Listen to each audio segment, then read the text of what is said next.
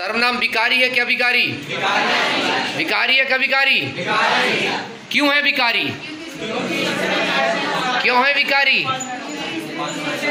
क्योंकि इसमें पुरुष और